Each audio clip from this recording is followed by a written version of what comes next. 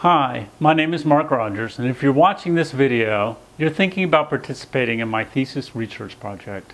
I believe that this project is a possible solution to a very real problem facing the newspaper industry today. I'm a graduate student working toward my Master of Fine Arts degree in Design Communication at Texas A&M University in Commerce. Citizen Photojournalist is my Master of Fine Arts thesis project. So why am I making you watch this video? Well, let me tell you what my project is all about.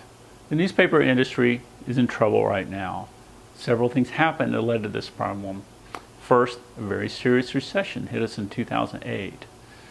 Workers all over the country were laid off. And what happens when you're laid off? Well, the first thing you do is cancel your newspaper subscription.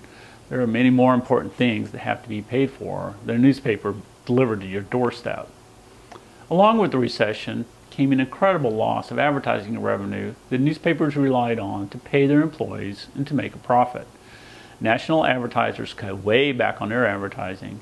Faced with less profits, local businessmen also cut back on their advertising budgets. On top of all this, the internet became a daily part of our lives and greatly affected the newspaper industry. People started to get their news via the internet and they loved it. No more ink stained fingers, no more paper to keep up with. So, along with the worsened economy, the internet added to the decline of the newspaper industry.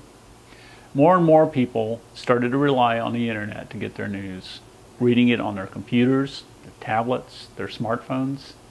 And this led to a steady decline in people actually subscribing to newspapers or buying them as single copies on newsstands. Why subscribe to the paper when you can get your news for free on your computer? Historically, young people would subscribe to the newspaper when they reached a certain age. They would continue to subscribe, for the most part, for the rest of their lives. This led to a continuous and gradual rise in circulation for most newspapers and an increase in the number of writers and photographers hired to cover the news. The term circulation is defined as the number of homes, that actually have the newspaper delivered, including the single copies bought from newsstands. But as the internet gained prominence, young readers found a new way to get their news and stopped subscribing.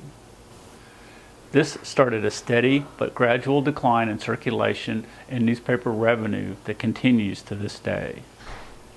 Along with the decline of circulation, the internet, through websites like Craigslist, took away a majority of the newspaper's classified advertising and took away most of their automobile advertising.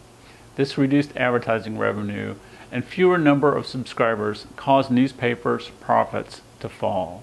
The result of the reduced revenue forced newsrooms to become smaller and forced newspapers to lay off employees in all departments, including the newsroom employees who actually write, edit, and photograph the news.